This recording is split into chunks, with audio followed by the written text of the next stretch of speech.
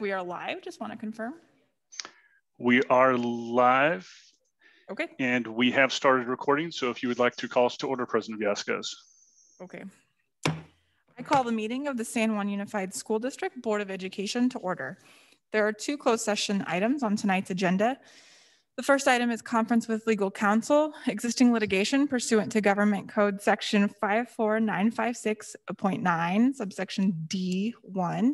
Name of case, Magali Kincaid, Benito Juarez Neighborhood Association, Neighborhood Elections Now, Juan Iniguez, Catalina Flores, Damaris Canton versus San Juan Unified School District. Complaint for violation of the California Voting Rights Act, and in the alternative, for violation of the Voting Rights Act of 1965 and the California Constitution, Sacramento Superior Court Case Number 342000286475, and collective bargaining matters, discussion with negotiator Jim Shoemake, Assistant Superintendent, Schools and Labor Relations regarding CSEA Chapter 127, General Operations Support, chauffeurs, Teamsters Local Number 150, transportation, supervisors, teachers, and certificated supervisory units, and regarding non-represented groups, management and confidential units. Government Code Section 54957.6.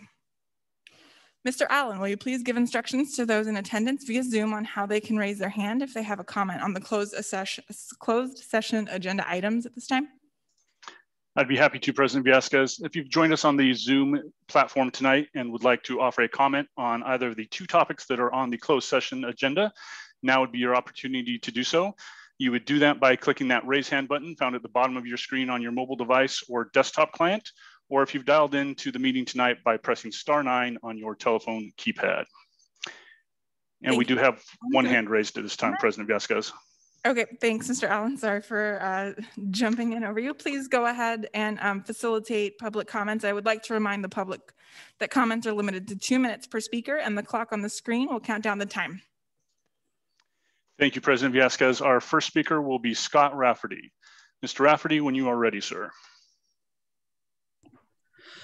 We lost a congressman yesterday. Arizona did not gain a congressman. Texas was expected to gain three. They didn't. Florida was expected to gain two. They didn't. What do all these things have in common? They're the first validations of what we told you in our petition more than a year ago. It's going to be a really bad census for Latinos. That's why we said it was so critical to install a Latino district member in the majority influenced district. But you ignored us. We had the superintendent say, we're waiting till after, we wanted to wait till after the census. You passed a resolution that left 2020 out, even though you told people in the room that you were gonna go that year. And then, and then you said you were going to save money doing that. We knew that wasn't true. So what do all these things have in common? And you told the governor that the that the registrars across the state couldn't implement it. So you didn't have our letter, which you were required to distribute at the meeting under the Brown Act. Departures from normal processes, contemporaneous statements, pretexts that turn out to be false, what are all these things have in common? They are all the ways you prove intentional racial discrimination. So don't think the day the governor's order goes away that you can get back on track. You can't. You're choosing, unless you settle this case and do the right thing, you're choosing a course that will create in further litigation and will ultimately find you guilty of intentional racial discrimination. Is that something you really want for this district? Thank you very much. And thank you for your comment. President Villescaz, that is our only raised hand and we have no submitted comments for closed session at this time. Okay, we will now move into closed session and we will return to open session at 6.30.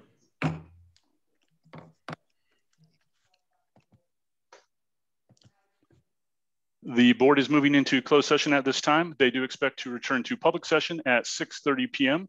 You are welcome to stay with us here on the Zoom environment if you would like, or you are welcome to return at 6.30 p.m. as well. Thank you again for being with us, and we will see you at 6.30.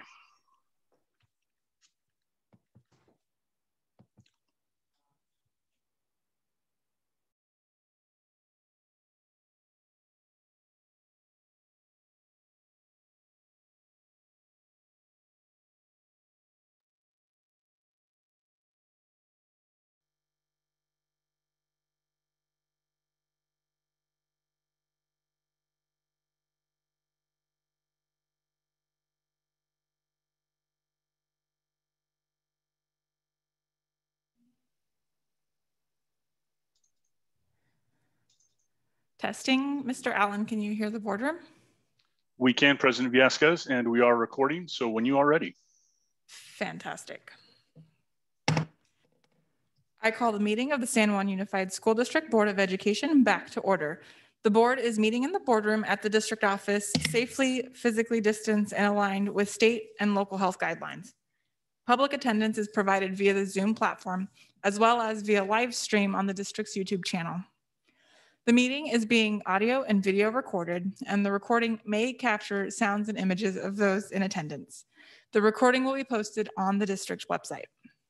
We thank you for joining us and ask for your patience as we use this format in an effort to maximize access and participation during this time of social distancing and other restrictions. At this time, please stand for the virtual presentation of the colors by the Del Campo High School Air Force Junior ROTC.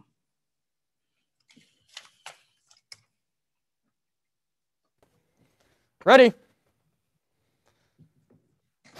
Color, Eng, Hut. Gary, colors. Forward, arch, left, left, left, colors, arch, guard, alt, present, colors. Please follow me in the Pledge of Allegiance. I pledge allegiance to the flag of the United States of America and to the republic for which it stands, one nation, under God, indivisible, with liberty and justice for all. Gary? Colors? Post? Colors?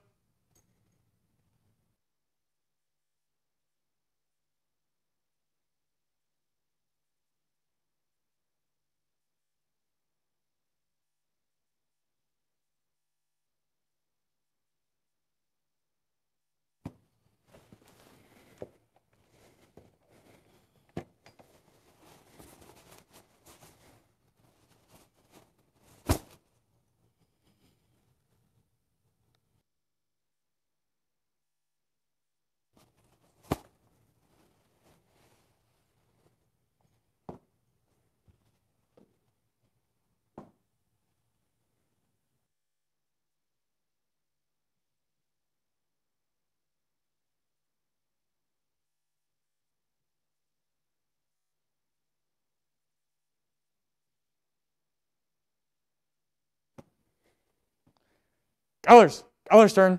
Arch.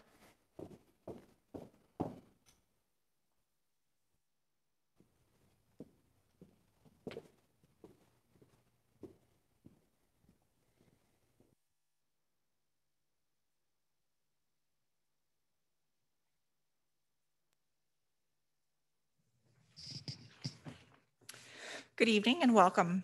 I'm Paula Villescaz, Board President, and to my right is Dr. Michael McKibben, Board Vice President, and to his right is Ms. Pam Costa, Board Member.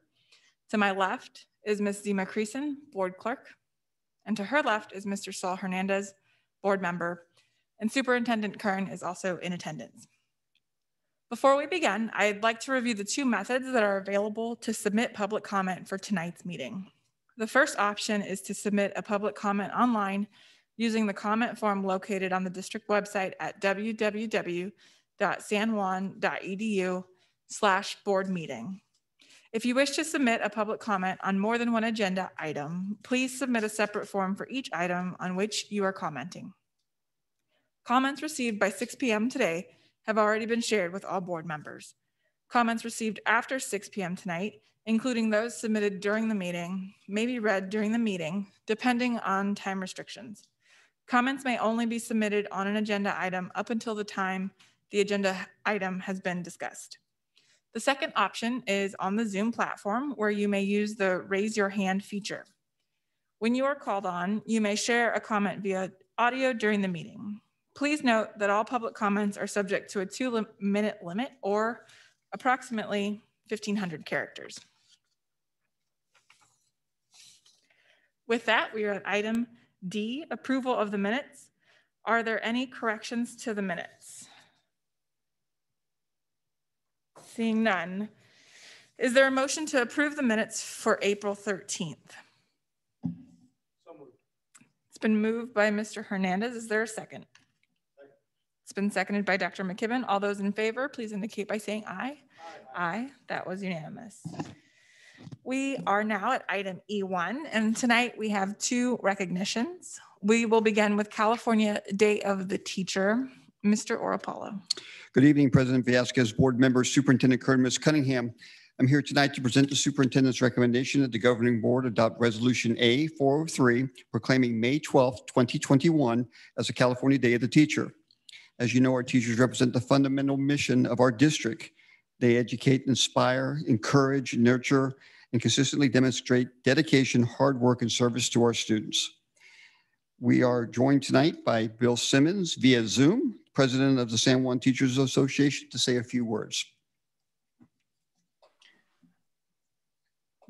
members of the board and Superintendent Kern.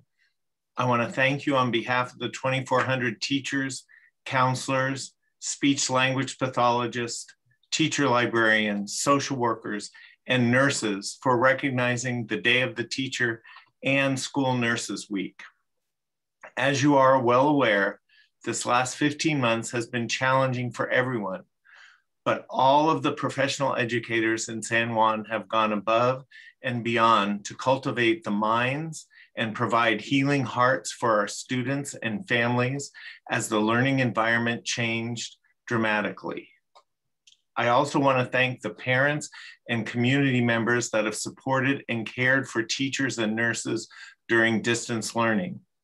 We have never faced such a health crisis in our lifetime, but with the focus on student learning, we have all worked together for the safety of our community while adapting to this wicked virus. We all learned so many things in order to continue in a remote COVID 19 world. Educators, students, families learn how to Zoom, Seesaw, post on Google Classroom in conjunction with what we normally do, applying math principles, reading, history, science, and all of the academic learning that took place and our nurses interpreted health guidance, providing training and contract tracing above and beyond their normal workday. As, and as we look to the future, we know it's brighter because of what San Juan educators and nurses have done this year with the students in a pandemic. And we hope everyone continues to follow health guidelines so that we can turn, can return to a full school year in the fall. Thank you. Thank you, Mr. Simmons. Do any board members have comments or questions? I'll do a double. Thank you very much um, to Mr. Simmons and of course to our, our membership and to your membership and to our teachers and to our staff. Um, it's been an interesting 15 months and I think at the, especially at the outset, I remember um, the public sentiment was give our teachers all of the raises now you know our parents at home were, were the ones doing doing a lot of, of the work and um, I know that probably felt like it lasted way too way too brief throughout this entire um, event. But I just want to say, from me personally, um, that that sentiment never changed. You all remain heroes. We've asked you to be chameleons and change your job descriptions and how you do it nearly overnight. Um, and you've continued to, to show up for our students time and time again. So I just want to say thank you. And on behalf of the board, thank you. Um, at this time, is there a motion to adopt resolution number A403 proclaiming May 12th as California Day of the Teacher? So moved. It's been moved by Ms. Costa. Is there a second? It's been seconded by Ms. Creason. All those in favor, please indicate by saying aye. Aye. Aye, that was unanimous. Thank you. And I'm Thank you, President Vasquez. Thank you for joining us. Our next recognition is for National Nurses Week and National School Nurse Day. Dr. Calvin, please begin when you are ready. Good evening, President Villescaz, members of the board, Superintendent Kern, and Ms. Cunningham. The superintendent is recommending that the board adopt resolution number A404 proclaiming May 6 through 12 as National Nurses Week and May 12th as National School Nurse Day. Here to accept the resolution via Zoom is lead school nurse Derek Stevenson and program manager for student support services, Sandra Batark. Thank you, Dr. Calvin. On behalf of our San Juan Unified Nurses, I will turn it directly over to Derek Stevenson, our lead nurse. Thank you, Sandra. Um, Superintendent Kern, President Villescaz, members of the board, and Ms. Cunningham. On the behalf of my colleagues in health services, it's my honor to accept this recognition of nurses. This has been a year that none of us will forget uh, we've all had to adapt to the ever changing realities of the COVID pandemic that has drastically changed how we educate our students. My colleagues have done an amazing job of providing support and guidance to students, families, and staff that they work with during this unprecedented time. They have admirably executed the mission of health services, which is to strive to ensure all students have access to safe and healthy environment in which to learn. On behalf of the school nurses and LVNs who work for San Juan Unified, I thank you for this recognition of the important work that we do for the district. Thank you, Mr. Stevenson. Do any board members have any comments or questions at this time? On behalf of the board, I just want to say thank you very much. I, I don't know if anybody signed up to be a uh, school school nurse during a global pandemic, but um, you know, I I can't think of a more frontline job. And I know, again, like everybody, you've had to kind of transition day by day at points, um, but every day showed up to, to serve our children and to serve our communities. So I thank you very much for your service during this critical, cr critical, critical time. Um, is there a motion to adopt resolution number A404 proclaiming May 6th through 12th as National Nurses Week and May 12th as National School Nurse Day? It's been moved by Dr. McKibben. Is there a second? Seconded by Ms. Costa. All those in favor, please indicate by saying aye. Aye. aye. That was unanimous. Thank you.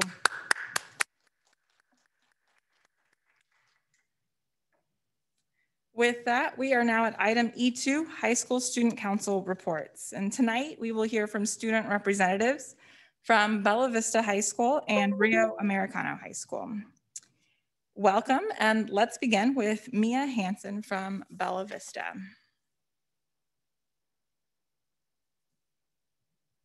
Good evening, President Villescaz, members of the board, Superintendent Kern, and Ms. Cunningham. I'm Mia Hansen, and I'm the Student Body Vice President at Bella Vista. This week was our first week back with cohorts A and B combined, and the energy around campus has been very uplifting. It's been so nice seeing more of our peers and friends at school, and classes have been so much more engaging with more discussion now that we're in person. Our LINK program has prepared our freshmen very well for being back on campus for the first time. They did small group tours at the campus and also made a campus tour video for those who got, for those who could not attend. The groups had up to five freshmen and they were specifically shown where each of their classes were so they felt more confident in navigating the school. And along with showing them where each of their classes were, um, they also showed them where the important buildings were on campus, like the library office and the locker rooms. At our last presentation, Sophia Butler, the student body president, discussed some of the virtual activities that were in the works, and I'm happy to say that both were very successful. She discussed the virtual art show along with our virtual escape room. And for the virtual art show, students were able to submit any media of art to the virtual art gallery that ended up having over 120 submissions. And our, and our virtual escape room um, students could work in groups to solve a treasure hunt and that was super popular among the student body. I will link the virtual art show in the chat and I would encourage you guys to take a look because there was a lot of great artwork from our student body. And um, since some of the students um, are at school and some are online, student government has continued to brainstorm activities that both groups are able to participate in. One of the activities is our Spring Spirit Week, which is actually this week. The students staying home are participating through social media by posting pictures um, of them dressing up for the Spirit Day on their Instagram stories. And then the students at school are coming to school dressed up on campus. And they also have the option to post pictures on their social media um, along with some backdrops that we made correlating with the Spirit Day. And we are also doing another virtual escape room since that was so popular the first round. Um, the senior class is really looking forward to an in person graduation that really uplifted the mood, um, getting that great news. And then our athletes are having a lot of fun being able to play sports again, and many of our teams are getting off to a great start. Currently, both of our varsity water polo teams are undefeated, and they have a big game against Woodcreek tonight. So, thank you so much for the chance to talk about what's going on at Bella Vista. Thank you, Mia, for your presentation. Do any board members have questions or comments?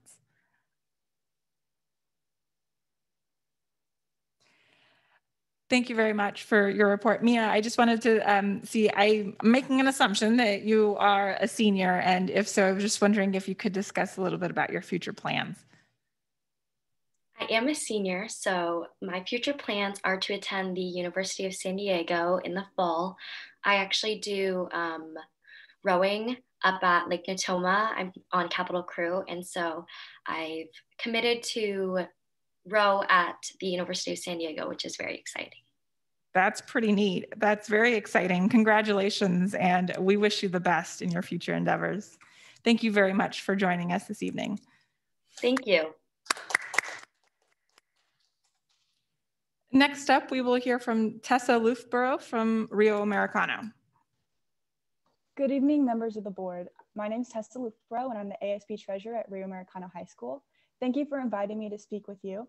Today, I'll be expressing some of the positive experiences that my fellow students and I have had, as well as some of the challenges we faced through our transition back into in-person learning. So far, over the last two weeks or a couple weeks that we've been in person, I know students have really enjoyed seeing everybody and being in classes together. Also, getting out early is super helpful for work or homework or other extracurricular activities. Overall, there's definitely a boost in morale with teachers and administrators, and that rubs off on the students, making learning a lot more fun. Um, I also know that students really love having no school on Wednesdays. Uh, some of the things that we were concerned about is that with cohorts A and B being combined and cohort C online, uh, it's not quite equitable with testing because cohorts A and B are able to test or have to test in class, whereas cohort C is all online and they have other resources. And I think that's something that's holding kids back from returning. And I wouldn't want that to deter people. Another question students had was, Many students are in the position where they would like to play two sports, but they're unable to because of the restrictions only allowing them to play one sport. Now that we've merged cohorts and athletes are being tested weekly, students would like the district to consider allowing students to join two sports teams, especially since many seasons have been moved to the same time, therefore their conditioning or games overlap. Um, right now, uh, we're working with student government to create a senior appreciation week, which will happen May 10th. Um, we'll have dress up week along with sweatshirts and prepackaged items that we'll hand out to seniors. And we're really hoping that as we move into the orange tier or hopefully the yellow tier, uh, we'll be able to have at least one senior event outside of graduation. Um, and that's all. Thank you so much for your time. Thank you, Tessa, for your report and for joining us. Um, do any of my uh, colleagues have questions or comments at this time? We really appreciate you being here. And I just want to say, I also appreciate the feedback on the combined cohorts. I know this is, um, it's day two, but um, we really, really appreciate hearing from, from you directly. Um, and I'm also just curious, you know, as a senior, what are your future plans? Uh, it's kind of crazy because I'm actually going also going to the University of San Diego. Oh, well, there you go. very excited. I don't know if you can see it, but there's a lot of UC San Diego love right now. uh, yeah, so I'm really excited about that. Yeah. Excellent. Do you know what you might plan to study yet? Uh, international relations, hopefully. Yeah. Awesome. Well, congratulations to you both headed to UC San Diego. And we also wish you well in all of your future endeavors. Thank you very much for joining us, Tessa. Thank you.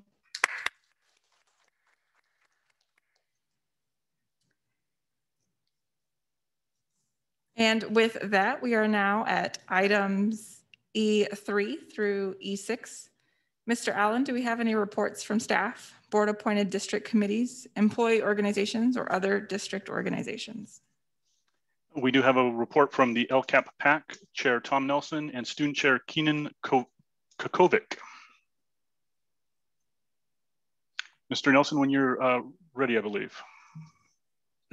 okay, thank you. Um, good evening, uh, President Villescaz, board members, Superintendent Kern, Ms. Cunningham, my name is Tom Nelson.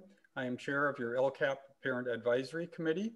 I'm here um, with our LCAP Leadership Student Chair, uh, Keenan, who will also be presenting. For the public who may not know, LCAP will be the district's plan for the next three years and will be a guide to our district until the year 2024. Our committee's last meeting was Thursday, April 8th. Our LCAP committee would like to thank the school board for approving recent committee bylaw revisions. Those revisions allowed our committee to create and elect a student chair to be included on our LCAP leadership team. At our April 8th meeting, Keenan was elected to hold that position by a unanimous vote of the other LCAP student members. Our LCAP committee focused on the board's strategic framework and its four focus areas, which are also our district LCAP goals. Using four Zoom breakout rooms, LCAP members discussed various recommendations of items to be included in the district's plan from this year through 2024. Uh, I participated in focus group number one, connected school communities, and Keenan participated in focus group number three, engaging academic programs. Uh, Keenan and I will uh, each reference a few recommendations discussed by our focus groups. In focus group one, there, will, there are three I will mention. Uh, one, create a West End community specific task force which is targeted to need. Uh, the West End has some of the highest needs schools and has the lowest performing high school. Uh, two, continue the use of Zoom for advisory committee meetings, even after a return of in-person meetings. Attendance at some public meetings has actually increased because of access via Zoom. And three, uh, there are eight state priorities which must be addressed in LCAP. Um, parent engagement is state priority number three, and parent engagement holds special relevance to the Parent Advisory Committee. Uh, the California Department of Education requires use of a self-reflection tool for the evaluation of parent engagement. Uh, San Juan, our district, gets to decide how many or from where parents are selected for doing the self-reflection of parent engagement. Our uh, third recommendation is some parents from every school site are represented in the reporting of uh, state priority number three. Uh, I will now give the floor to our student leadership chair, Keenan, to speak. Thank you, Tom. So like Tom mentioned, my name is Keenan. I'm actually a senior at Del Campo High School and I serve for the LCAP as the student chair.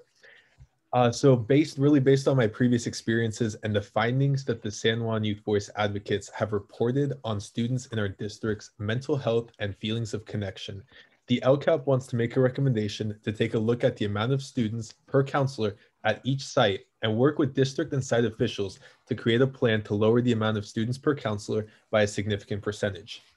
The LCAP committee also recommends that the school district allows a student to serve on the school board. These recommendations will allow the San Juan Unified School District the opportunity to connect with the students it serves. At our May meeting, we look forward to working on drafts of our goals, actions, metrics, and expenditure information. We want to take we want to thank our LCAP director Gian and our LCAP specialist Laura for their support and assistance, and also to my fellow committee members. Thank you. We invite the board to ask any questions.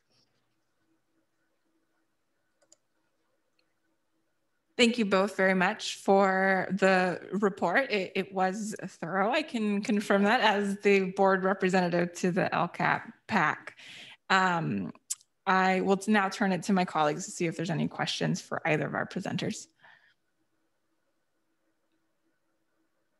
Okay, thank you very much. I, seeing none, thank you very much for the report. And I also um, want to thank Dr. McKibben for joining the last meeting as well. Um, the board was uh, thoroughly represented at the last meeting. And also, um, Keenan, thanks for uh, taking on the leadership role and, and being the first um, student co-chair. Thank you for your service as well. And thank you, Mr. Nelson, as well. We appreciate the report. Mr. Allen, do we have any other reports at this time? We do not, President Villescaz. Okay, then with that, we are at item E7, and there are no closed session actions to report at this time. So with that, we are at item F, visitor comments. Um, Mr. Allen, will you please give instructions to those in attendance via Zoom um, on how they can raise their hand if they have a comment at this time?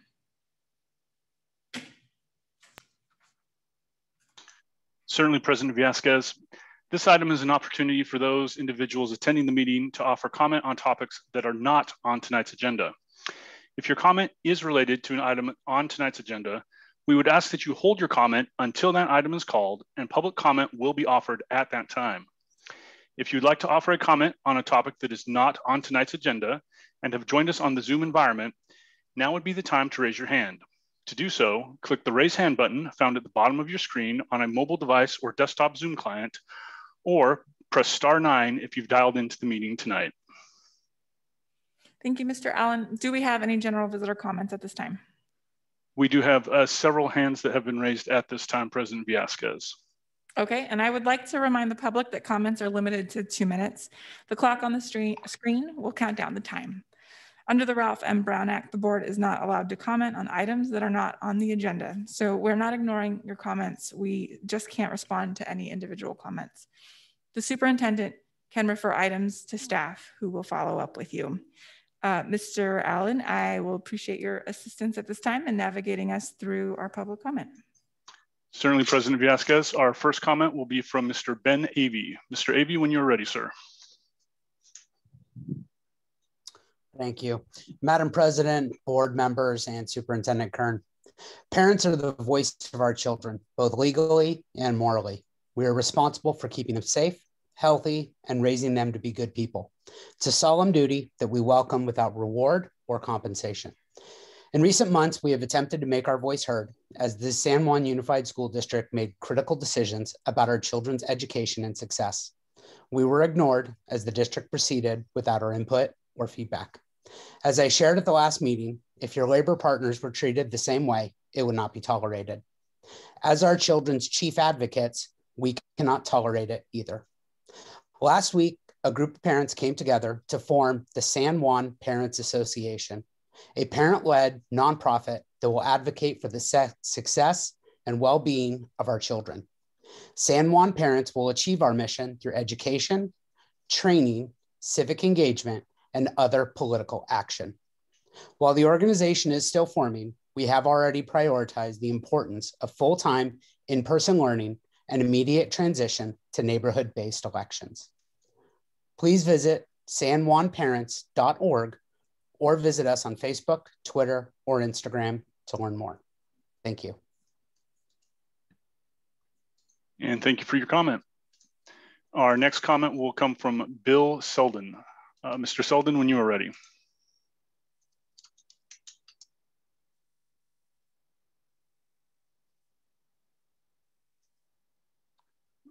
Can you hear me? We can.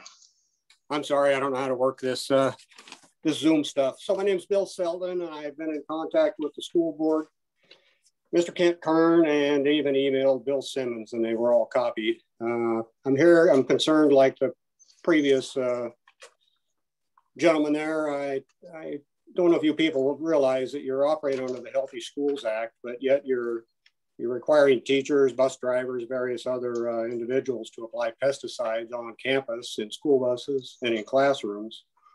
One of them is Oxivir 1. And the slick salesman may make you feel good because they say that it's, well, it's got hydrogen peroxide in it, when in fact, it has 0.5% hydrogen peroxide in it. And regular old hydrogen peroxide has 3%. It's the other ingredients in there that you ought to pay attention to uh, benzyl alcohol, uh, hydrogen peroxide, uh, I can't even pronounce it, benzene, sulfonic acid, and hydrobenzoic acid. Uh, anyway, I'm gonna run out of time. Under the uh, state and federal law, you're required to train your employees before they ever touch a pesticide. They have not been trained. Uh, the gentleman that wrote back to me for uh, Mr. Kent Kern said that, uh, well, they'll get around to that basically. So, so anyway, parents that are sending their kids to school, you're liable to have them touching and breathing pesticides that are EPA registered. Teachers that are going to their classrooms requiring to be using these products, the bus drivers, uh, somebody needs to pay attention to this. I don't know I don't believe the governor has the authority to tell people to stand down and not pay attention to the law, but it is a law. And you're not the only district in the state of California that's violating it, but it is a crime. So I was a licensed pest control advisor for 25 years by the state of California, and I'm running out of time. So pay attention and don't make people sick. Pay attention and uh, be safe. Thank you. And thank you for your comment, sir. Our next comment will come from Marina Gable. When you are ready.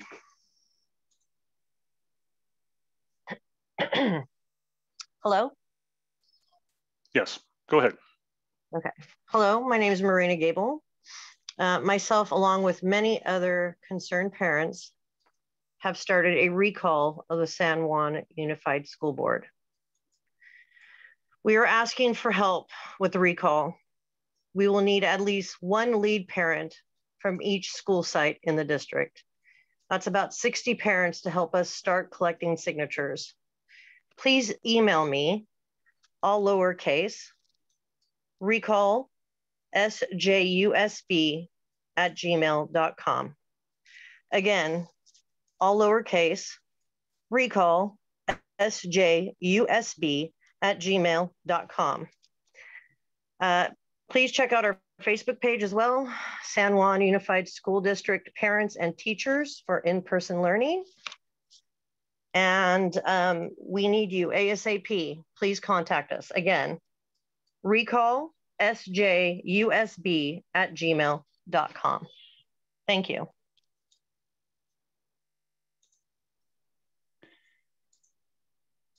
And our next comment will come from Scott Rafferty. When you are ready, sir. Uh, hello, I'd like to follow up on uh, the comments Mr. Avey made about uh, neighborhood elections. In coming weeks, you'll also have an opportunity to sign a petition uh, to ask the County uh, Board of Education to require uh, neighborhood elections and to enlarge the size of the board to seven. a couple, this is long overdue. Several months ago, Carolina Flores asked the board to produce um, all the documents related to a promise that was made in 2012 to study this issue. Uh, we got back one piece of paper. Fortunately, some conscientious employee provided a wealth of documents that were illegally withheld by the district, including a map which shows a district a, neighbor, a neighborhood trustee area for Citrus Heights, and another one for West Arden Arcade that was actually majority non-white. For 10 years almost, you have sat on this. We heard the superintendent who knew all about this say that they were waiting for the 2020 census, which we told you a year ago was going to probably be the worst census in history especially for Latino and Black communities. Uh, you need to comply with the law. You need to find out why the Public Records Act was violated and what the consequences are. You need to tell that to the community. It is not the case, as you suggested at your last meeting, that simply because there is litigation, you are excused from the law that permits your constituents from requiring you to agendize an item. It's time you answer these questions in public and not as some trustees have done in Democratic Party meetings. Thank you. And thank you for your comment. Our next comment will come from Katie Reed when you are ready.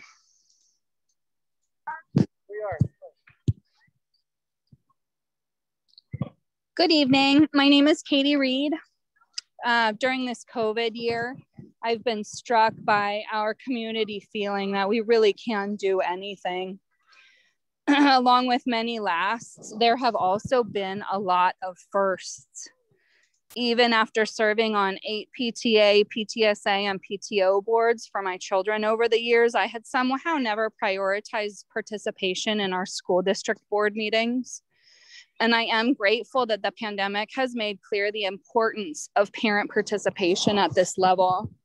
I have been working as an organizing member of the San Juan Parents Association, mentioned by Mr. Avey previously, at www.sanjuanparents.org. Because what I have seen more than anything else academically this year is that parents need a voice at this table. We are not just the loud and affluent, as Mr. Kern has labeled us. In fact, we created a survey ourselves to pull as many parents as we could possibly reach. It was something that the district has refused to do at seemingly every juncture. I've heard, for example, an attempt to rush through a block schedule at Bella Vista High School is currently happening without a request for parent input. And that is very concerning to me. Please start listening to our voices. Thank you. And thank you for your comment. Our next comment comes from Rob Hutchinson. When you are ready.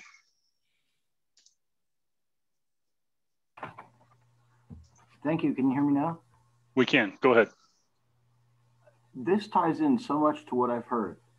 I met with, oh, well, good evening, board president, executive cabinet, superintendent, board members, and members of the public. I met with a couple of members of executive cabinet last summer about concerns about inequities involving our students and the way they've been assigned to my particular school. I was told that the CDE recs are optional more recently, I presented Ed Code Title V, Section 14030 to district about two weeks ago. I was sent an altered document, which I've repeatedly referred to as attachment one, as justification that very few of our rooms would meet that standard, and our site predates it. I have sought records relating to this document, the one that looks like a plan page, but has blue numbers added to it that are incorrect. I've not heard from facilities about this, even though I've been presented with public documents that show that the assistant superintendent is aware of my concerns and questions.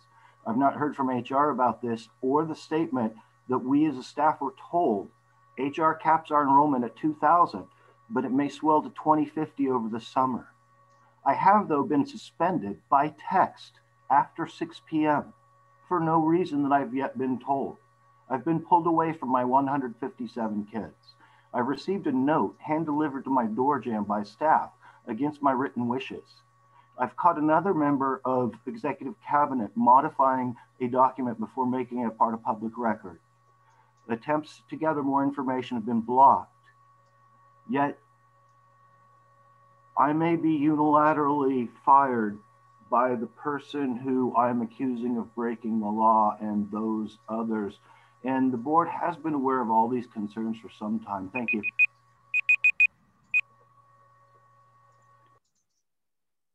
And President Villescaz, that was our final comment.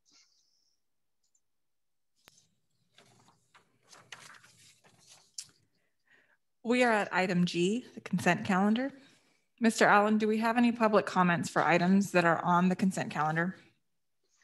We have not received any written comments for the consent calendar. If you've joined us on the Zoom meeting and would like to offer a comment for an item that is on the consent calendar, now is your opportunity to do so.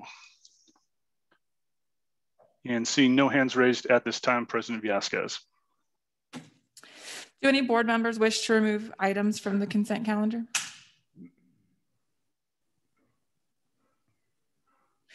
Seeing none, um, there is a request from staff to pull item G2, the purchasing report. So I'm going to go ahead and um, pull that at this time and request uh, a motion to approve items G1 and G3 through G8. It's been moved by Ms. Costa and seconded by Ms. Creason. All those in favor, please indicate by saying aye. Aye, that was unanimous. Um, I did pull item G2 from the consent calendar. Uh, Mr. Camarda, I believe you are with us, if you don't mind um, coming forward and, and explaining G2 to us. Yes, thank you, uh, President Villescaz. I appreciate you pulling that board out, and, and I apologize for the inconvenience of that. Uh, specifically on page three, uh, under general contracts, there's two things in front of the board. Uh, bid number 116 MCM Roofing and bid number 21-117 uh, for Pacific Shield Roof Services.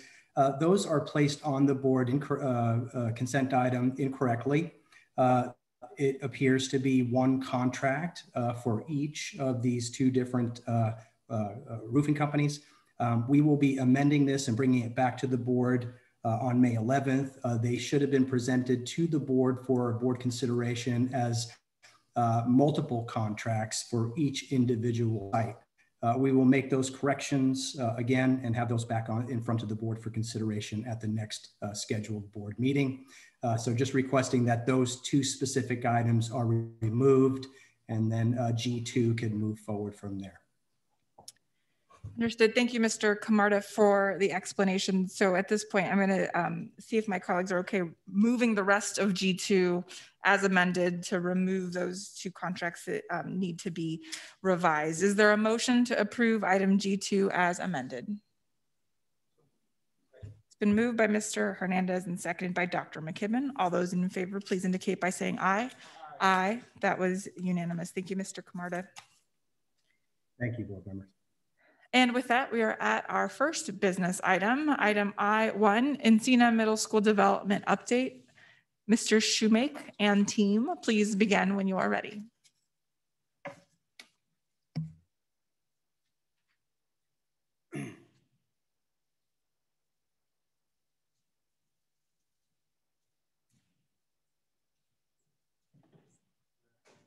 Back there.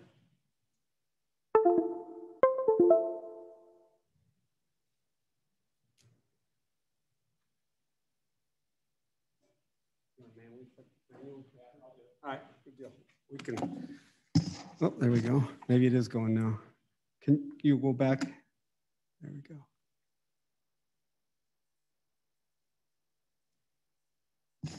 Like a good lesson plan, we'll adjust here. So uh, good evening, President Villescaz, members of the board, Superintendent Kern, and Ms. Cunningham. Thank you for having us tonight. We're really excited to share our progress on the development of our new Encina Middle School. Joining me tonight are Dr. Shana Henry, our Encina Middle School principal, and Nina Mancina, who has continued in her role of supporting Encina as we plan our new middle school. Next slide, thank you. Our presentation tonight will cover five specific aspects of our work, with the focus really being on instructional, structural, and student community outcomes that have evolved from our design work. Next slide. Our work within Encina continues to build upon our district work related to continuous improvement. In a nutshell, how do we listen to, learn from, and respond to the needs of students, practitioners, and community members? As you recall, we're going to stay on that last slide there, Joseph. That's all right. As you recall, we first started planning for the creation of a new Encina Middle School in the spring of 2018. Our focus since, this, since that day has been to not look down at things from the top, but to listen, learn, and build from the ground up. And based on our learnings from the past, take the time needed to make the best decisions before moving forward. Our work has generated some significant input and learning, and I'm happy to share at this time that our default decision-making stance is anchored in student, staff, and community voice. Next slide. Thank you. As you are aware, for the past year, senior district staff and teacher union leaders have been available to provide support, advice, and guidance. While listening to the Encina staff, it became really apparent early on that the sponsorship team needed to be more actively engaged with the site leadership team. This district sponsorship team now meets twice a month with Dr. Henry and the Encina site leadership team to discuss issues, act as a thought partner, and in general, remove barriers to Encina's success. At this time, I'm going to have Nina Mancina now, who's going to share with you our extensive work with our stakeholders.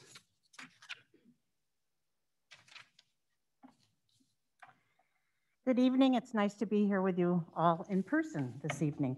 Um, I would like to take an opportunity to provide you with a brief overview of the outreach we have done to date. Uh, the middle school design team presented to the staff three times and used the site's home group structure to gather feedback in small groups. Each home group was facilitated by a design team member and a member of the leadership team. Each session included a Google form so that staff could provide additional feedback outside the group session. The data gathered was used by the design team to make modifications to each prototype and answer any questions staff had. In the distance world, community outreach, outreach was difficult. We used several of the avenues indicated on the slide, including a partnership with Mutual Assistance Network. We ran a series of co-facilitated community forums that gathered information on the prototypes um, and turned out, the turnout at these events, sorry, excuse me, the turnout at these events was lower than we would have liked, but we did get some good feedback around the connection of the school to the community, making sure Encina Middle School students experience the same activities as other students in the district, and ensuring the safe environment for students. Safety, as you can imagine, was the number one concern I heard from parents I spoke with. In addition to student guides the, that each design team member identified, I was able to get into Zoom classrooms to have discussions with both current middle schoolers and fifth graders at Dyer Kelly Elementary School. Current middle schoolers were very interested in the possibility of increasing electives, access to organized sports and clubs, and enrichment opportunities. They were also interested in learning more language, including Japanese, because many of them have a big love of anime. Um, and of course, they were, want more choice in what their day looks like. Elementary students were concerned about discipline at the middle school level and the possibility of bullying. But they were also very excited about a new mascot and wanted to know what the school colors were going to be. They looked forward to picking their electives, being able to have science every day, and expanded access to clubs like cooking and robotics. As with other feedback, this information was provided to the design team for use in their development of their plan. I will now pass it to Dr. Shana Henry to provide you with details on the design plan.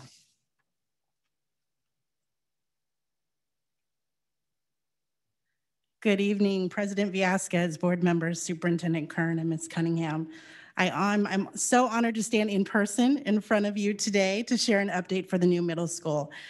What I will share is the collective work of an incredible team that is our middle school design team. I could not be more proud of their work this year as we pushed our thinking and one another. What you will see tonight is reimagining the middle school experience for our future scholars. And while our design team partners are not here in person, they do stand virtually with me and present this update. Next slide, please. Before I go into some of the key design elements, it is important to know our work for the design process was grounded in research for what works for school success. And there were three key pieces of research we used to start our work. If I can draw your attention to the green boxes on the slide and join me in the middle where you will find the instructional core. This is the heart of the student learning experience where we create strong relationship between the teacher's knowledge and skill students' engagement in their own learning, and academically challenging content. When these three elements are working in harmony, we will have productive student outcomes. We also reviewed the work of Dr. John Hattie and his visible learning research. His work revealed which educational influences have the strongest effect on student achievement. As a design team, we reviewed his findings to embed in our work. And at the top of our slide, coherence. In order for success to be achievable and sustainable, we recognize all elements must work together toward a collective goal and with shared accountability.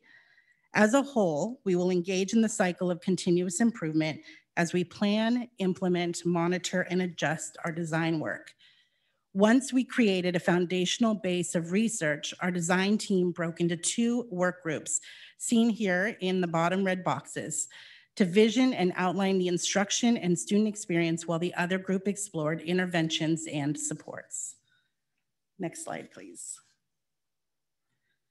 What came from our work groups were action items that can be summarized in three components, instructional, structural, and student and community. Next slide, please. First, our structural components for our new design.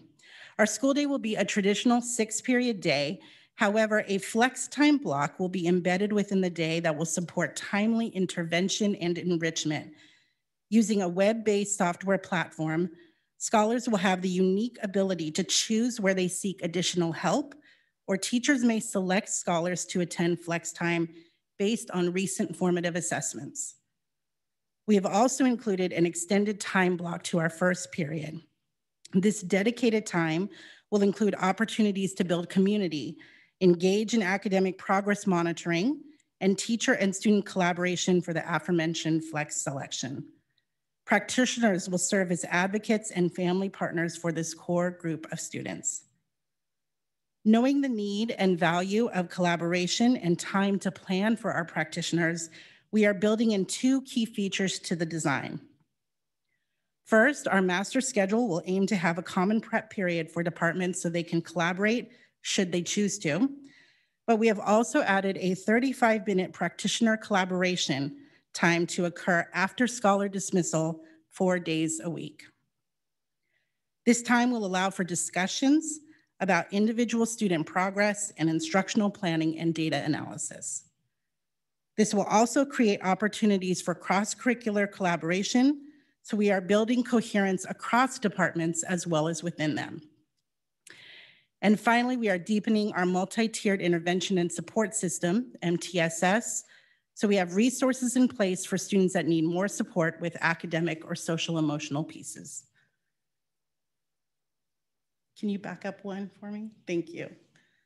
Next are instructional components. As mentioned earlier, the research of the instructional core will serve as the base of quality teaching and learning. But we will also focus on teacher clarity, which is a high leverage influence listed in the visible learning research by Hattie. Teacher clarity is a method where practitioners are clear on what it looks like when students know and are able to do standards Teaching is organized and intentional, and students can better plan and predict where they are toward achieving mastery. We will also design grading practices that shift to a more equitable policy where grades accurately reflect a student's academic level of performance toward grade level standards. In order to truly focus on clarity and grading in a coherent system, we will devote time to mapping out formative assessment calendars, pacing guides and curriculum maps, and create accountability systems to monitor our professional structures and student progress. Finally, the flex time will be grounded in student progress data and the practitioner collaboration time. Next slide. And third, the student and community component. Our goal was to create supports that provide for an engaging culture that builds community and school pride with the goal of students and staff feeling more connected to and involved with the community around them, our school will feature a house system where all students and staff will be assigned to one of four houses and throughout the year, engage in community building opportunities, events, and competitions with other houses. If you're a Harry Potter fan, you will recognize this concept, but we are definitely elevating it to 2021 and with our scholars in mind. The names of our houses are altruismo, a Portuguese word that represents the house of givers, amistad, a Spanish word that represents the house of friendship, Isibindi, a Zulu word that represents house of courage, and rever, a French word that represents the house of dreamers. To deepen relationships with scholars and families, we will continue the student-led conference model and we'll be adding the parent-teacher home visit project with a focus on our incoming sixth grade families. Through a variety of community building events, our school will serve as a welcoming and trusted place for all families. Knowing the developmental needs of our middle schoolers, we will stay consistent and structured with our positive behavior and supports process and with clear expectations and embedded social emotional supports throughout the day. We are also extremely excited to offer a variety of rich elective options that will begin in year one and will include art, Spanish, multimedia communications, journalism, AVID, leadership, and band. As we prepare for the upcoming separation of the 612 model, our current staff was presented with updates on designs from both middle school and high school. During the week of April 12th, staff were provided the opportunity to rank their staffing preference of middle school, high school, or opting out of either site. In the last week, HR reviewed staff selections and placed practitioners at high school or middle school levels. Next slide. Another exciting part of our design work has included the naming process for our new school that met the district criteria for middle schools of a great name. In March, we did a general call for ideas, reaching out to our community, feeder schools, staff, and students. Communication blasts were also included on our website and social media channels. Our design team reviewed the submissions and ultimately we landed on two names that we felt were great role models for our scholars. In addition, both names are historic women of color that have made important contributions to our nation and world. In the last week, we've had over 300 participants provide feedback on both names. And in the weeks to come, we will go through the stages of presenting at the District Facilities Committee, Executive Cabinet Review, and finally to you, our distinguished Board of Education for approval. It is our hope to have a name by the end of the school year as we solidify our school identity. Next slide, please. As we prepare for our official opening in fall, we still have a lot to do. We are planning to bring Where Everyone Belongs, or WEB, program to welcome our new sixth graders to campus by a group of eighth grade leaders. That relationship will continue throughout the year. Orientations will be planned for all families to learn about the school and the design elements mentioned tonight. Additional community meetings and outreach will take place as well so families can get to know our staff.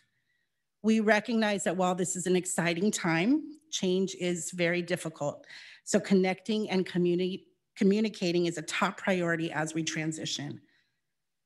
We are also planning the first few weeks of school that will include celebration, community building, and house identification. And of course, we invite all board members to join us so you can also be part of a house. Finally, staff will have the opportunity for professional development and collaboration to start strong, and our design team will continue the work through the lens of continuous improvement. I'm now gonna turn it back over to Jim to talk about facilities preparation for the new year.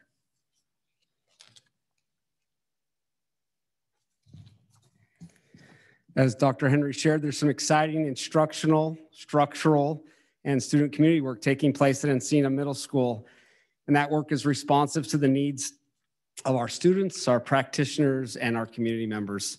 And we've taken that same approach to listen and to listening and responding as we have planned the facility utilization for next year. Of note, we are creating a separate middle school office on the north side of the campus. We are establishing separate drop-off and pickup areas for middle school and high school students. We are staggering our bell schedules between the middle and high schools, and we are re reimagining path of travel and room utilization. And each of these moves is designed to intentionally maximize daily contact between students of similar grades and reduce interactions between middle school and high school students throughout the day. And speaking of high school, There we go. Uh, while it is not the focus of tonight's presentation, we wanted to highlight some important work they are engaged in. Superintendent Kern is going to take on this slide. Thank you, Mr. Schumake and, and Dr. Henry and Nina. I just want to say thank you so much for uh, the presentation and the work that you've done. Um, what you see tonight is there is similar work going on with the high school, but as Dr. Henry has been here this year, really shepherding that work with middle schools.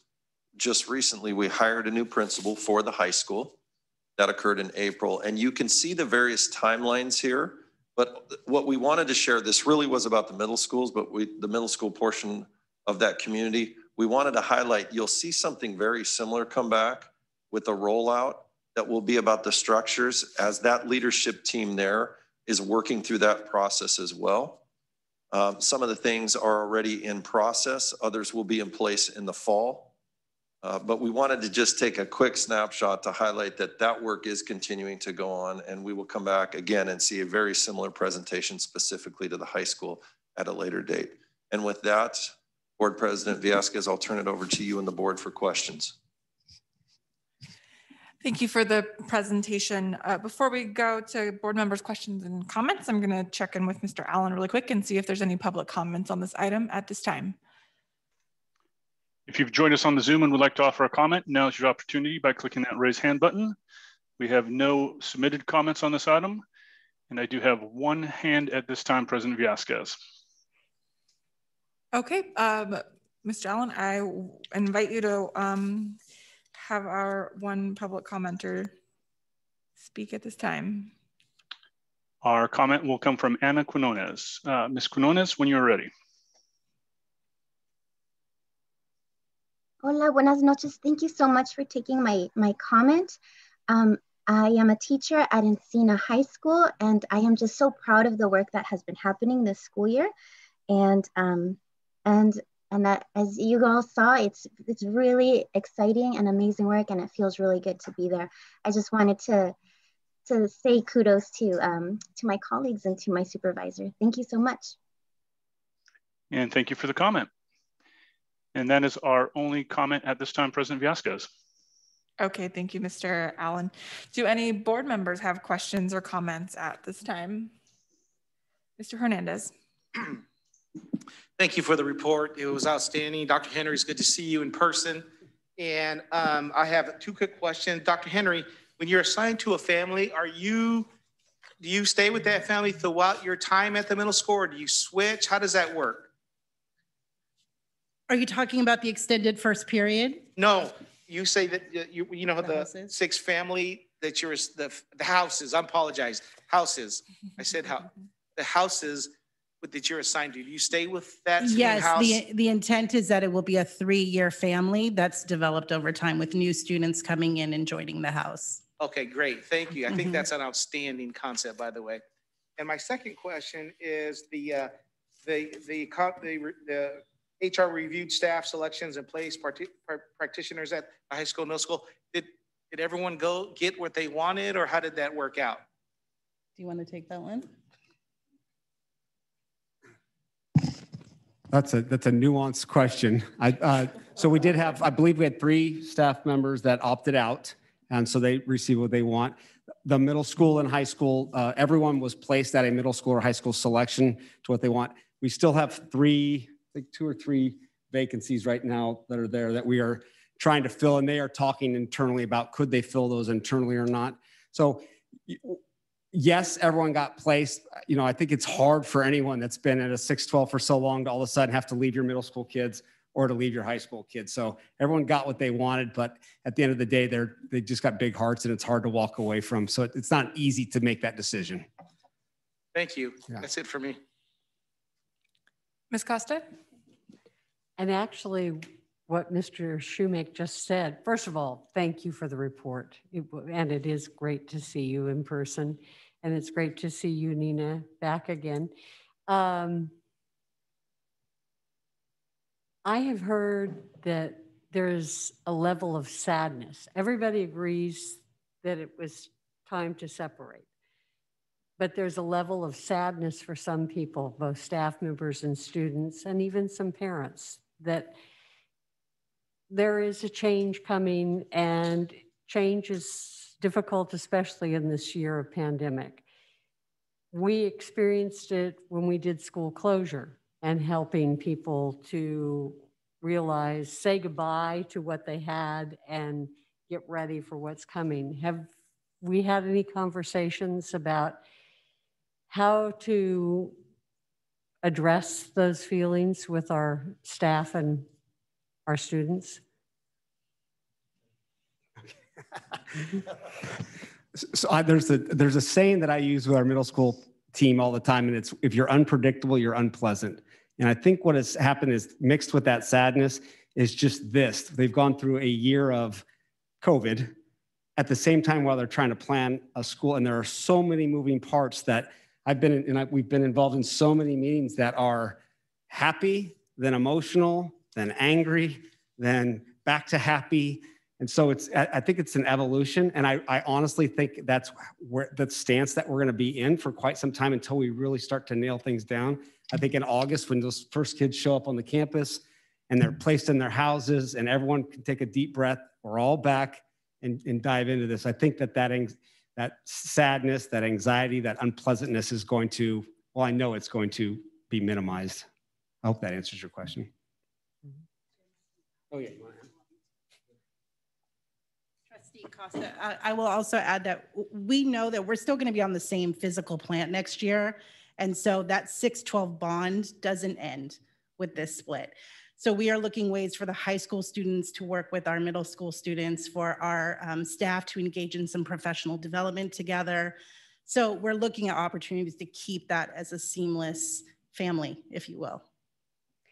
And is that being conveyed so people know that that is the plan? I, I, would say it's still part of the design work of how it's actually going to land, but it's very present on both design teams on how to keep that continuation going. And then in terms of the facility, have we conveyed to the parent community the facility changes that are taking place and how we feel that addresses the safety issue? And have we talked to the incoming parents? I'll take the take on the I'll be the face of the facilities here for. um, so yeah, there's been extensive communication that's going forward, but as part of this design work, there's so many aspects of this that have not been shared publicly until it comes to the board.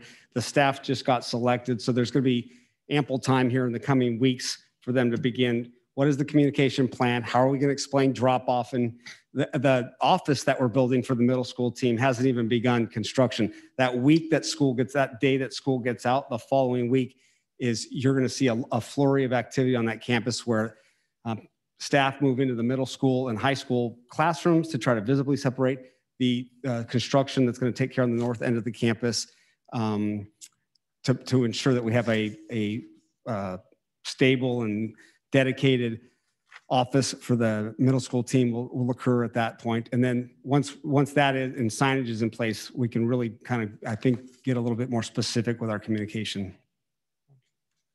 Thank you again to the team. I really appreciate it. Ms. Creason?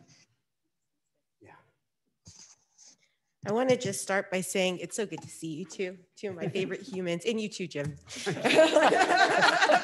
I see you more often. Um, I just appreciate your approach so much and your spirit. You know, it just, it just really uplifts me. It really lifted my spirits, and I needed it. So I appreciate that. I think the house idea is amazing, and I would love to be assigned a house. And so please send me the details. I would love to be a part of that. Um, I did have a question. Can you share the two names that has come down to or no? Wait, it's public already. If, if you weren't going to, I was going to. it was worth an ask, I figured. If not, I totally understand. Yeah. They're great. Oh gosh, I hope I don't mess this up. Okay. the the two names that we are considering at the moment are Rosa Parks and Katherine Johnson. Wow. I'm sorry, not Rose, Maya, Maya Angelou. I'm so sorry, Maya Angelou. That was one of the names that were submitted. So Maya Angelou and Katherine Johnson. I messed that up, Superintendent Kern. I'm No, so it was recently narrowed to two. It was a much broader field, but it's Maya Angelou and Katherine Johnson, which is very exciting. Yeah, there was, there was many, many names. I Many mean, there was a whole process they went through. Um, and I, I love that you, the, the list that kind of came forward were women of color who had real impact in, in society in their communities. And then through really community and student in that whole process, it was drawn down to those two. And then ultimately, um, it's been an interesting conversation about whose decision is this? You know, is it ultimately going to come to the board, the board decide? And I said, the truth of the matter is the board has always respected the, the voice of the community. And when you have students and staff, which is happening where they're coming forward with one, I believe it's Mhm. 70, 30. Yes. Now, we're not going to say that tonight yet, but it's, it's pretty clear because I think they're still maybe collecting and gathering some input. Um, But that will come back to the board, taken to the facilities committee first um, next Tuesday. So when it comes back to the board, they'll have had the opportunity to see it. That's the normal process we go through. And then it will come back to the board for you to ultimately take action on it. And it will be exciting to have a name for the school. Um, Are you, colors, you said school colors, are those, That is going out for vote in the next week or two with our kids. see, I love School it. colors and mascot. I lo- So really totally student voice. Mhm. Love it. Me too. It's just really, really exciting. And just, you know, to get that, not just buy-in, but, you know, pass the ownership on. It's like, this is your school, children. I mean, it just, I, I know it's going to mean a whole lot um, to the community building, you know, as this change occurs. It's just really exciting. Um, I wanted to also just say, just in general, the part of the presentation where you explained the community outreach process, that you partnered with mutual assistance and all the things that did take place is wonderful. I know that I was getting a whole lot of calls at the beginning of this conversation. Um, you know, people wanted to be involved and they have been, you know, and I haven't got any calls. So um, it seems like things are going well so, on this topic. So I'm really excited about that. Um, I did want to just clarify one point. It's my understanding that the facilities facilities plan that was shared tonight is in stone for, or in, we're talking about just the next school year. There's another plan that will, is being worked out for beyond next school year. Is that, I just want to clarify that. That is correct. Okay. Thanks for all that you all do. I appreciate you very much.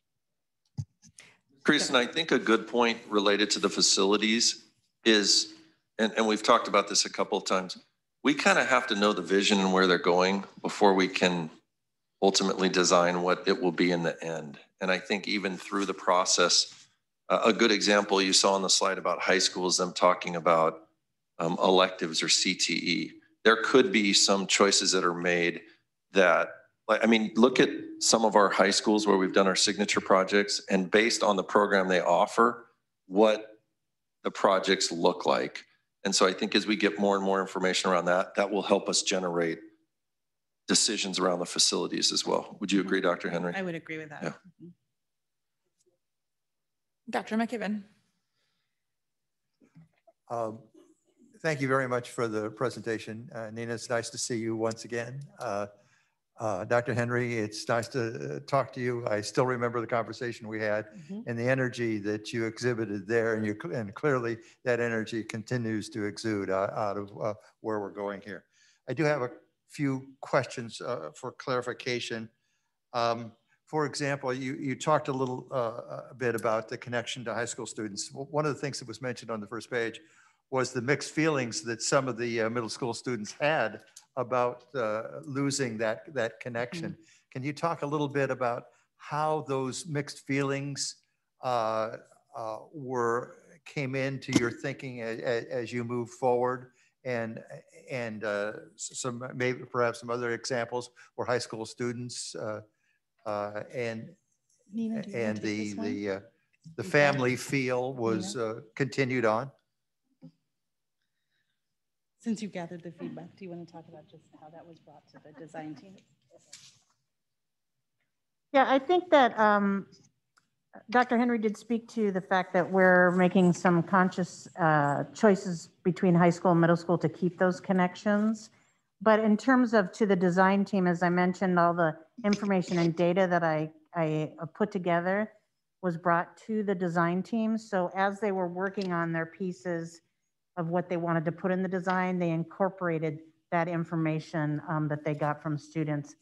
So that's where sort of this idea of making the connections between middle school and high school and keeping that together, um, especially because we have a lot of students who come from the same family. So, you know, how we're gonna um, basically keep those connections between students, students as well. So I think, you know, it'll be interesting to see um, at the high school as it proceeds in its design and we build some of those components about um, the connections between the students as well. So hopefully that answered your question. There's still a lot of conversation going on about that. Um, Did I get at what you were trying, asking for? I'm sorry. Did I get at Yes, what you were you're- asking? that was Okay. good. I, I want to follow up a little bit on that. Uh, One of the things that I was impressed with i- i- in, in your write-up too was there were clearly some examples of things that, that seem, uh, that are, are working. Uh, For example, student-led conferences that I think nearly all of us uh, uh, on, on the board have participated in and have always been really impressed uh, with those sort of things. And, and uh, I appreciated that those things look like they're continuing forward into, into the new program a- and so forth. So it, are there, are there any other examples like that that you can think of where you uh, deliberately have included things that, that seem particularly successful in the, a- as you move forward? We're good. We're playing tag team here. So Dr. McKibbin, I'm new to Encina, so uh, everything will be new to me. But I know uh, both design teams are very interested in not throwing away everything. So a lot of the community building connections, that first period extended portion of the day will be um, similar to what they call the advocacy program. So still that connection between teacher and students and families. So some of those things are continuing along. Okay, thank you. And uh, my last one, oh, in terms of as you reach out, I remember a, uh, a scatter plot map that we saw some time ago showed uh, how the, the number of students that were in the Encina area. Um, How are you contacting those people uh, that look like they have, uh, have, uh, have gone to other schools and, and that may uh, uh, see uh, the resident school as in the Encina area being uh, interested in, and what would someone have to do in order to show interest? Sure. So that's, there's quite a few questions in there, so I'll try Yeah, to. I'm sorry. Yeah, no, no worries. So the, the, I think to the, the first point is, I don't think we have any interest in going out and trying to take kids from the middle school that they're in. In fact, the middle schools have all said that Encina's success is our success. Um, and so we want to do what we can to support. And there's going to be an effort to, to make sure that kids, before we are moving kids into a Churchill or an, or an, or an arcade, is just asking if, if their homeschool of residence is Encina, or do you know what you're leaving? Or do you know what, why you're leaving? The other piece is now that we, now that um, we know what Encina Middle School is going to look like, it makes the job of our central enrollment people so much easier when they, when Shane is going to be able to sit down with our central enrollment team and explain basically what is going to happen out there. So when, when a family comes in and says, I heard, or there's a rumor that, that, that people at the central enrollment can stop them and correct that and say, have you, do you, are you aware of what's going on out there and even speak to it and, and really assure people rather than just allowing someone to come in and say, I'd like to transfer out and making that process easier than maybe it needs to be. We still want to honor choice, but we want to make sure that people understand the really im- impressive work that's taking place at this campus and um, steering them back to make sure they're making an informed decision. I think I got all your. I uh, think you, Okay. thank you very Oh, yeah, much. yeah. uh, we- Shane, uh, Dr. Henry does have one more item to add. This is like a, a dance up here. Um, also, we're just developing strong feeder relationships. So reaching out to our elementary schools um, our, our highly populated ones that students come from, Greer, Howe, Dyer, Kelly, just building those relationships with them so we can reclaim some of those students that may have thought that they were going to other schools, trying to reinvent the school and get them to know about these new elective options, that they wanted to see some of the new opportunities that we have available to them so that we can bring our kids back home to where they should be. Thank you very much. Mhm.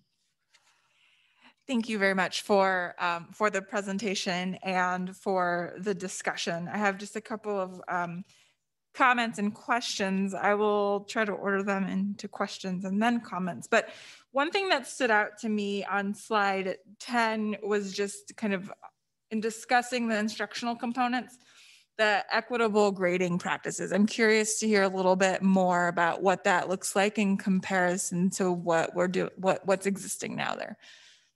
Sure. So this is going to be a, a long three-year process, I think, and beyond to really crack at this grading process. But um, this was the concept of our design teams coming together and saying we really want to focus on progress in the academic standards and not on maybe some non-instructional things that get into grading sometimes. So really looking at how that affects students and that grade reflecting more of a picture of progress in that mastery rather than where they are at a certain point of time based on assessments at that point of time, if that makes sense. Yeah, no, I really appreciate the the context around that. That's super helpful. I also appreciate kind of just how things are laid out in terms of the structural components, the instruction, the structural, instructional, and then the student and community components. On the structural components, um, um, you know, I love the the sense of um, camaraderie that's being built with the houses, and you know, it's very much a sense of belonging, right, where everyone belongs. The web web welcoming activities, and I just particularly when we're talking about the structural components, I'm just wondering if you could speak to a little bit about where the um, non-certificated staff play into this, because I, I know it's intended to be a comprehensive um, plan and effort. And so I was just wondering if you could speak to a little bit more about where um, that those staff members play a role and are part of this. Yeah, absolutely. So in all of these elements, we we think of it as a unified school staff effort. So we we have classified staff on our design team as well to make sure that we're not neglecting any partners in that work, but they will be part of a house as well. We're That's hoping great. they can embed in the web work, so they will be very present through everything we do. Fantastic. Um, I have been watching the naming process and it's been really, really like I really am curious what the result will be, but I've watched it narrow down and it's been really hard to not engage and participate myself. But I think no matter what, it's gonna be really exciting. And so um, it's been a joy to watch that process and I look forward to seeing it through through the end. And then um, I just, I also appreciate, I know it's kind of a, a, tricky balance of kind of discussing this work and watching it move along and then um, having kind of the high school component. But I think through the discussions, and, and you all probably know, it's a full ecosystem of, of students that exist there. And yes, we're separating them, but there's still a lot of hopefully kind of um, shared support services and some other items there. And so I, I just want to express that it's my hope that as this moves along so quickly, because they're part of that shared ecosystem, that we continue to really um, keep an eye on the high school progress side as well. I don't want one to get too far ahead of the other because I just think it's really important that they complement each other. Otherwise, like it just it won't be coherent and i think that's what we're trying to build and that's critical to to the success here and so i'm excited that you know it's we have um, another presentation coming to may 25th i think it's probably too premature to ask for even an update in june so we'll, we'll have that but just know that i'm really curious to see how these play out and inform each other in terms of processes and how they roll out um, other than that, I just want to express my thank you. Fantastic to see you. Appreciate all of the incredible work happening. Um, and we really appreciate it. Thank you. Thank you.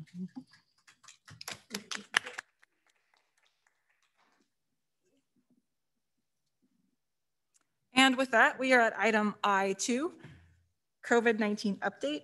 Superintendent Kern.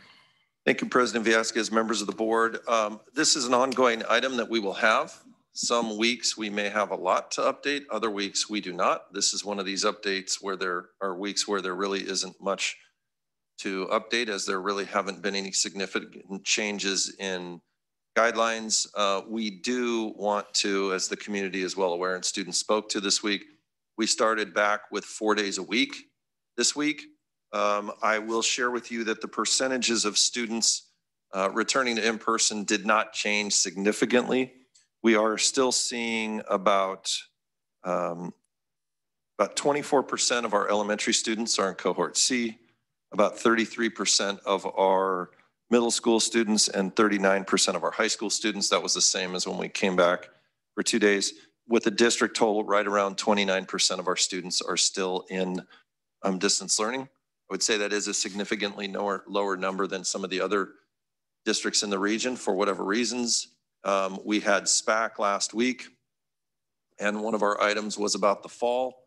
And I think the term that we're trying to use for the fall is a return to pre-COVID conditions which is clear that prior to COVID, we were five days a week full time. We're still looking at options for folks who would choose not to come back as we still hear that, that there would need to be um, that option for some. So that's a process that we're continuing to work through. We're actually waiting for some clarification from the legislature and the governor as well on that as really what could be allowed. Uh, they want to make sure that it's not the default. I completely agree but they are hearing loud and clear that there is a need for still some options. So as we get more information on that in the coming weeks, we'll bring that to the board, but that's all that we have to update for you tonight. And Thank I can answer any questions. Thank you, Superintendent Kern. Um, Mr. Allen, do we have any public comments on this item? We do have one hand raised, and if you have joined us uh, on Zoom tonight and would like to offer a comment, now would be your chance to do that by clicking that raise hand button. Uh, and we can start whenever you're ready, President Villescaz.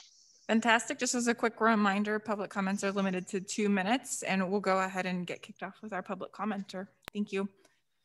Thank you. Our first comment will come from Mr. Ben Avey. When you're ready, sir. Thank you, President Villescaz, board members. Uh, on behalf of the San Juan Parents Association, I wanted to respectfully request the community engagement team start a series of community outreach and engagement meetings similar to what was done with uh, equity conversations in the district last summer. I think right now is a great opportunity to speak with parents and families to talk about the current distance learning models and really understand why parents are choosing uh, to stay in cohort C. I think that we can all make some assumptions, but I think it would be good to have those conversations with folks right now. Uh, and the district luckily has a very robust community engagement team that has done this work before. Uh, they could even do it virtually. So uh, while we know that the district's plans are as stagnant as uh, they will be for a while, um, I think we've heard we're going to remain in the current learning model through the end of the year. I think this is the opportunity to be very proactive uh, in hearing from parents. Uh, I do know that there is an ongoing thought exchange that's out there regarding learning loss. Um, I would say that that is that is different than the conversation about distance learning, just so that the district is fully aware of where parents are when they get the information from the state on what is possible uh, versus what we should really strive for. So, thank you very much for your time. And I would say that we absolutely support a return to pre COVID uh, conditions. Thank you. And thank you for your comment. And that is our only comment on this item, President Villescaz. Okay, at this time, I will turn it to my colleagues. Do any board members have questions or comments? Ms. Costa? I just wanted to say a sincere thank you to Frank Camarda, Cherie Chenoweth, and a legion of dedicated classified employees who worked to get our desks assembled at night and on the weekends and during the day and then delivered to school sites. I really didn't think it was possible to get 7,485 desks delivered, actually assembled and delivered, but they did it. And they did it before Monday, um, which is fantastic. Also, a thank you to our vendors, because again, when with as much difficulty as we're hearing to get school related supplies. It was amazing to get that many desks. And also a thank you to our principals and our teachers and classified employees who totally reworked their schedules and protocols and systems and plans in a matter of weeks to get things ready for kids. I've heard nothing but positive from all staff members and parents who've reached out to me. It's really been a great third transition, actually fourth trans, fourth first day of school this school year. So uh, hats off to everybody who made it happen. Ms. Creason. I echo Ms. Costa's sentiments, you know, everyone that made it happen, it was hard. Pandemics are hard, and I get it. You know, workplaces were changing quite a bit, but I also want to recognize parents because it is hard. it was hard. It's hard to get kids to school in the middle of the day and figure it out. And a lot of people are just figuring it the heck out and stepping up as parents and doing what we can. Um, and it's hard. And for the kids that had to go through so much transition and man, the kids, I mean, I'm really inspired by the resiliency in children um, to just figure, not to say everyone's having a cakewalk, they're not, but um, the spirit when I visit Zoom rooms or talk to kids, it's it's amazing. And so, you know, um, it really is everybody. It's all stakeholders that make it work, and it's hard for everybody. And I'm really appreciative of where we're at. Um, this year is going to be how it is and i think it's a lot better than it was definitely four months ago and i'm really excited that you know next year next school year it will be you know I don't want to say pre-COVID. I get why we're saying pre-COVID. I think that we can even be better than pre-COVID. so I'm going to think of some language to use, but definitely have our kids on campus for more time. So thanks for everybody. Thanks to everybody that has just hung in there to do the best that we can for kids and learning. Thank you for um, the update. It's kind of refreshing to hear that there was no significant changes in guidance. Um, but I know I know it has not been easy. I got to visit a, a school today and be on campus, and it was just like soul refreshing. I don't know how else to describe it, but um, you know, seeing students in classrooms that's that's where they that's where they belong and um, i know it took a lot of work on behalf of so many to to make it happen and to um, our our staff in particular from the instructional staff to the facility staff um, to our transportation staff to our nutritional staff um, thank you for continuing time and time again to um, to rise to, to the occasion. And I was just thrilled to uh, be on campus and see our students there. Um, was super impressed with um, the compliance around masks. Um, our students oftentimes, I think, have adopted it more a little bit more easily than some of um, than some of the adults in our school communities. But um, I'm super confident we're going to get through we're going to make it to the end of the year um, and then you know look forward look forward to the fall i do want to um, just note that i keep a pretty close eye on our covid dashboard and i know we've seen a little bit of traffic around youth sports so mr kern i was wondering if you could just speak to a little bit on on that piece and kind of what we're seeing in terms of rates yeah we have seen um, some significant numbers of students who have had to be isolated or quarantined. Uh, I think two weeks ago, we had two high schools with over 100 students quarantined at one time. Um, last week, I think we had one. I looked yesterday, we had one that wasn't on last week, that was on a couple weeks ago, that's back again with over 100 students. So I, the, the sports are creating some unique challenges for us um, in terms of the interactions and exposure. Um, we knew that was likely to happen. Uh, again, the fact that we are, and I, and I said this to the SPAC meeting, there are some large urban districts in our region that are not playing sports yet. They haven't, they really haven't figured out how to implement the testing piece yet. To, to they may be practicing, but you don't have to do all the testing. So I'm happy that we're allowing those sports to participate. Um, but we are seeing some students that are needing to be isolated because of that. And we'll probably, you know, continue to see that for the rest of this year. And, and I think, and you probably know this better than I do, heading into the fall, a lot of those testing components will probably continue in the fall. Um, as the vaccine gets available to more and more younger students, hopefully we'll see less teams having to be isolated. Uh, because as Mr. Hernandez and I have talked about, this year there there haven't been any playoffs or you know it's it's they've been able to play the games, but I think they're hoping to have a regular season next year, and you could really see teams affected um, by one positive case and the cancellation of possibly a football game. They're not going to stop the rest of a postseason for that or something like that. So we'll continue to put a lot of those safety protocols in place and be ready for whatever lies ahead of us. Thank you. And that's pretty consistent with what we're seeing um, statewide. Um, children remain the biggest group in population that are not eligible for vaccines. And so until, you know, and I know science is moving as quickly as they can, but uh, as long as, as, that's the case, I think we'll continue to um, see that. So I think it's just um, appropriate to continue with caution as we have been. So I know it doesn't come easily. I know it's a big lift, but I really appreciate it because I'm, I'm glad that our um, students are able to participate and um, cobble together a bit of a season here through the end of the year. Um, I saw a couple of uh, hands come up, so I am going to um, go to Mr. Hernandez and then I'll turn it to you, Dr. McKibbin. Thank you, Ms. Villescaz. Mr. Kern, since we're talking about this, could you just uh, some of the parents that have asked about the two sport rule, we, I know they get a very good explanation. I've seen the response to them, but I don't think the community at large kind of understands the why our approach and why we chose to do that. Can you briefly update our parents community on that, please?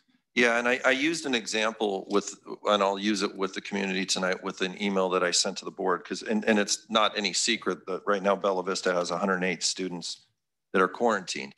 If if we allowed students to play multiple sports, and let's say, you know, Miss Creason, Mr. Hernandez, and I all played basketball on the same team. Well, if we're only playing one sport and we test positive, then our basketball team has to be quarantined. But if Ms. Creason plays soccer, now the soccer team has to be quarantined. If Mr. Hernandez plays baseball, which I know you did back in the day, you know, now all of a sudden the baseball team's quarantined. And if I play football, now all of a sudden all four of those teams are quarantined instead of one. I get this. I have a son who was a three three sport varsity player. His last two years, he played three varsity sports. It, it would have been difficult, but I would have rather seen him be able to participate in one than affect all three. And even the likelihood of the exposure to the other students than bringing that to those sports. Um, and so I, I know people aren't happy about it but it is allowing hopefully some of those sports to get in many more games than they would have otherwise. Dr. McKibbin. Just quickly, and actually this is for both the both uh, uh, board member Hernandez. Uh, Bill, yeah, I get it. No, uh, I'll just, I'll just uh, ask the question. Uh, uh, do we have any reason to or any plan to do a kind of a systematic uh, vaccination of our students in a similar way that we did for our teachers?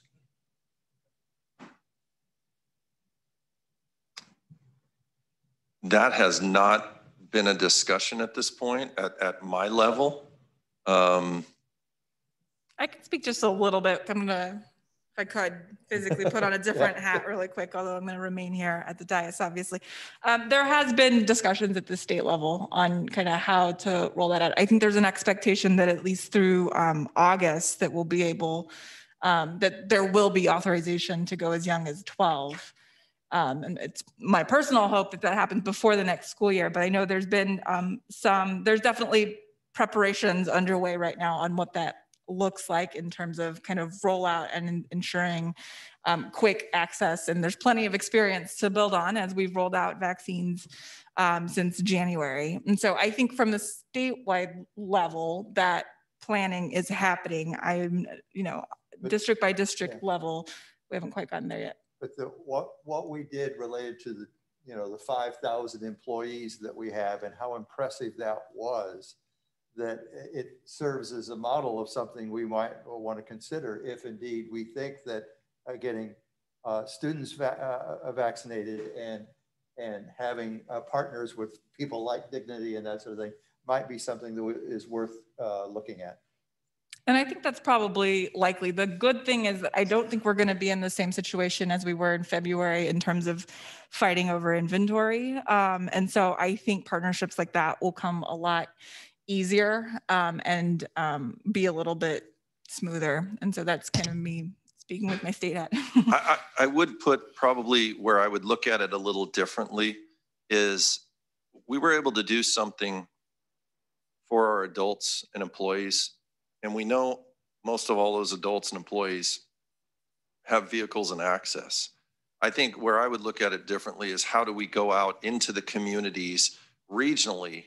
And, you know, President Villescaz and Ms. Creason and I have had these conversations about taking it to those communities. I think that's more likely to happen on a smaller scale than an event like we did at the center of the unit at the district that may, you know, some people may be able to get there very easily, but there may be others that wouldn't. So that's probably, and again, that this discussion, I mean, I, we talk weekly with the superintendents in the county and this isn't a discussion we've had yet because I think we're still focused on getting the, the vaccine for the adults. And with it only being at 16 at this point, it, it just hasn't arisen. And, and we even haven't had any of our partners reach out to us yet on that as, as well.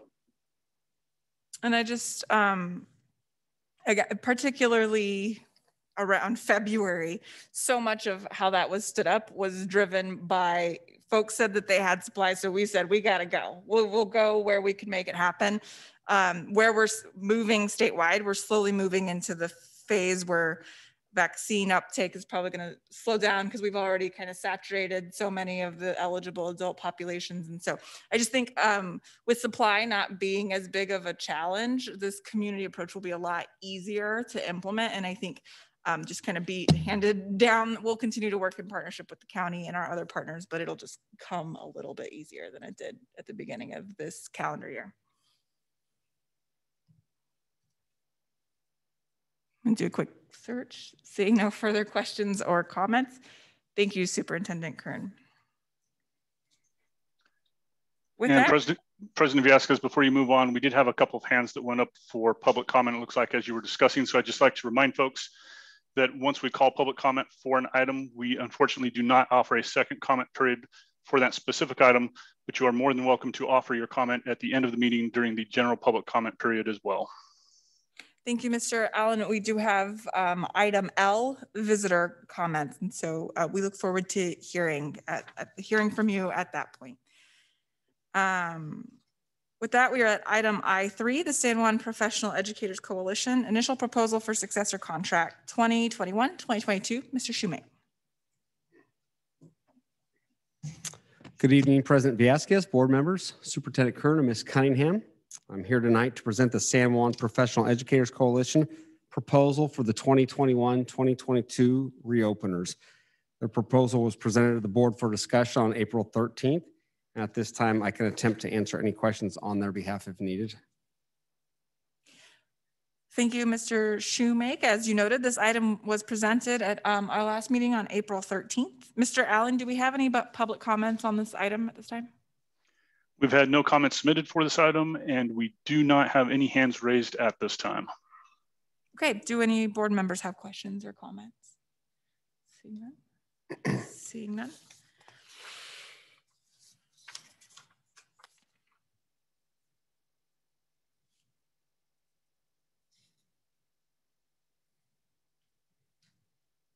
I apologize. I think I might be missing a, a, page, but this is for action. Uh, it, actually, when they submit their interest, it's just discussion, discussion. We only act on when, when we submit the district's Well, that would explain why it has been, I thought maybe I was kind of yeah. missing a page. I apologize. No, All right. No well, there has been no um, discussion. So do one more quick check. Seeing none. We are then at item I4, uh, the California School Employees Association, initial proposal for successor contract 2021-2022. Yes, I'm also, also here tonight to present the California School Employees Association, Chapter 127, proposal for the 2021-2022 reopeners. Their proposal was also presented to the board for discussion on April 13th. At this time, I can attempt to answer any questions on their behalf if needed. Thank you, Mr. Schumake. Mr. Allen, do we have any public comments on this item? We've not had any comments submitted, nor do we have any hands raised at this time. Okay, I will turn it to my colleagues for any um, questions or comments at this time.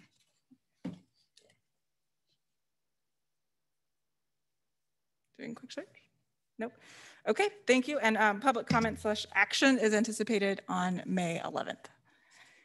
With that, we are at item, oh, we are at item I5, implementation of agreements with SJTA, CSEA, SJPEC supervisors and Teamsters. Um, Mr. Schumate, go ahead. Yeah, as you mentioned, I'm here tonight to present the side letters of agreements with the San Juan Teachers Association, the California School Employees Association, Chapter 127, the San Juan Professional Educators Coalition, Teamsters Local 150, and the San Juan Supervisors Association. At this time, I can answer any questions if needed. Thank you, Mr. Schumake. Mr. Allen, do we have any public comments at this time? We have had one comment submitted for this item at this time. Okay, uh, just a quick reminder, public comments are limited to two minutes. Uh, Mr. Allen, please um, have our public comments begin when you're ready. Uh, this is a written submitted comment, uh, which reads, the agreement for the compensation for combination class teachers leaves out many teachers with multi-age classrooms. Even though the multi-age classrooms left out of the agreement are a component of the design of various programs, such as SDC and the Montessori program, the teachers in those multi-age classrooms were still required to put in extra hours to develop curriculum during the distance learning and hybrid time to meet the needs of all the grade levels, just as a combo teacher in a traditional program had to do. All teachers who teach multi-age and combination classrooms should be eligible to receive the one-time compensation for the work they did. Please amend the SLA regarding combination classroom teachers to include all multi-age classrooms across the district.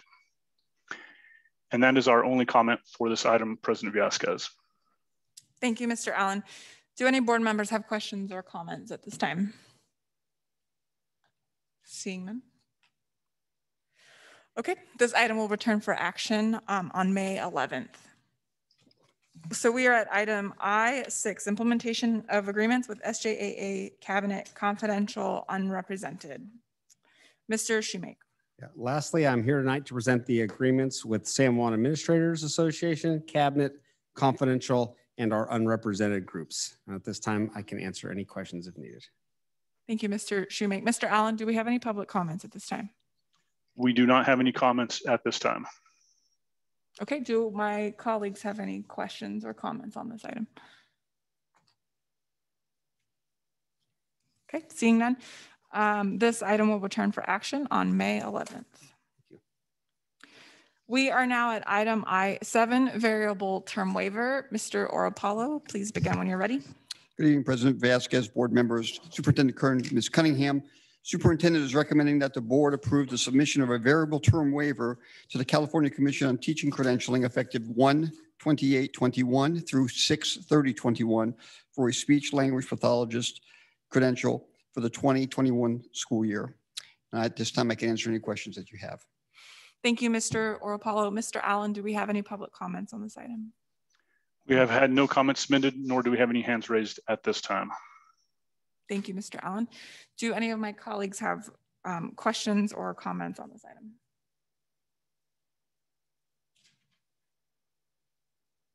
Okay, seeing none. This is an action item. Is there a motion to approve the submission of one variable term waiver to the California Commission on Teaching Teacher Credentialing?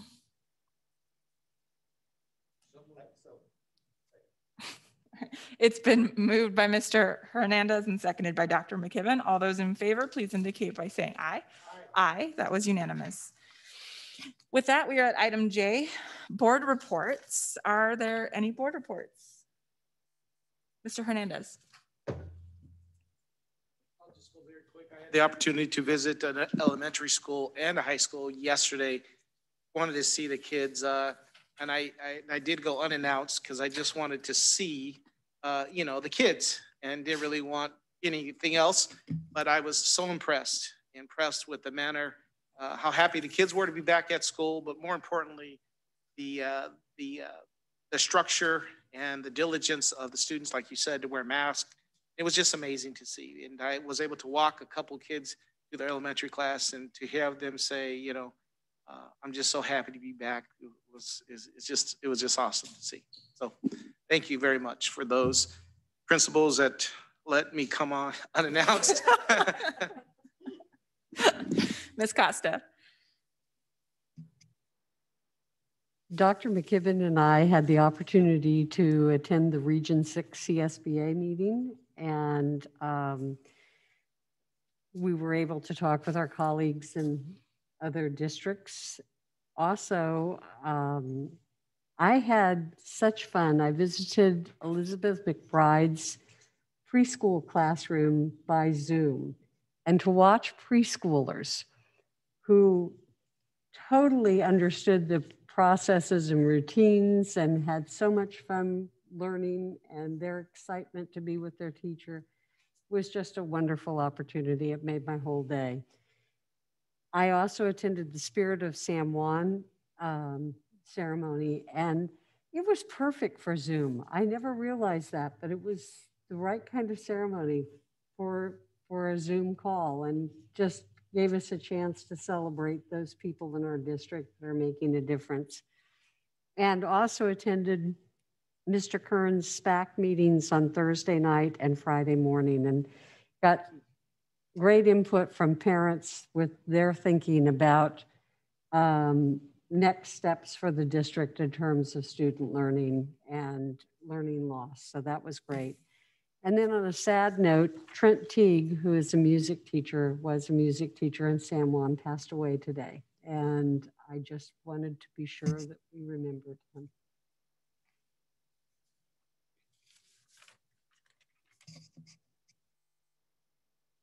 Thank you, Ms. Costa. Dr. McKibbin. Yeah, I also want, want to uh, uh, mention that I, I attended the uh, uh SPAC meeting and I wanted to comment about how, uh, and, and, and as for some of the don't know, we're doing SPAC meetings both on Thursday night and Friday morning. And uh, we ended up in, in breakout rooms and that sort of thing. And wanted to thank the, the thoughtfulness. Uh, SPAC is organized so that basically all schools uh, can be represented and, and the majority of them, I believe, were uh, in this meeting. But it, uh, but it was particularly interesting to hear uh, these parents that uh, do represent the schools talk about uh, their experience over the year and, and give us their ideas related to some of the new funding that we're, we're seeking and so forth, and how thoughtful it was and really impressive. And, and I just want to thank those parents for, for being so thoughtful about our kids, their resilience, and, and taking our school forward into the, into the next year. Another one of the things that I did wearing my uh, Rotary hat was that uh, I uh, was looking at the scholarship applications from both Casa Roble and uh, Bella Vista. And uh, you, when you look at the, those scholarship ap applications, you can't help but be really, frankly, wowed by, by that sort of thing and, uh, and impressed with our students. And finally, I wanted to thank uh, uh, particularly Project Optimism and Improve Your Tomorrow and others for having the social justice forums for both middle schools and, and high schools and how thoughtful those young men and women are about uh, how much they care about each other and, and, the way that they exhibit that in, those meetings. And, and, again, thanks to our partners uh, for for arranging those and continuing to support uh, our students. President Villescaz, can I build just a little bit off of what Dr. McKibbin said? Um, we started an SSAC scholarship this real this year that's really about the students. It's going to be, you know, they created the criteria for students to apply. Uh, we think we're going to be able to give out $2,500 scholarships this year. We had 168 students apply this year. And I mean, we had every school, six from CASA, 22 from BV, 19 from Del Campo, 13 from El Camino, 13 from Encina, 23 from Mesa, 24 from Mira Loma, 24 from Rio, six from San Juan, and four from our alternative schools. So we're, it's going to be neat that we talked about this is the first year, and, and I know some of you participated. but to be able to start something like that um, in a challenging year like this, so I just wanted to build off of that because that, that is a, it's really a positive thing that we're going to be able to affect students at every one of our schools this year. Thank you, Superintendent Kern and Dr. McKibbin for the report. Um, I won't be, I won't cover too many of the items that have already been um, covered, but I will also just say thank you to our Spirit of San Juan, um, the team that put it together, everybody who was nominated, and of course to our awardees as well. Um, I was able to join the um, Cal SSD meeting with Superintendent Kern, which is the California um, Suburban School District Association, where we heard an update from some of our state public health leaders um, alongside um, our part, our school board and school partners throughout the region. Um, where they shared some of the information related to the vaccine rollout and importance of testing and some other public health measures. Um, I also was able to um, join one of the um, SPAC meetings, and it's always a great opportunity to hear hear from our parents.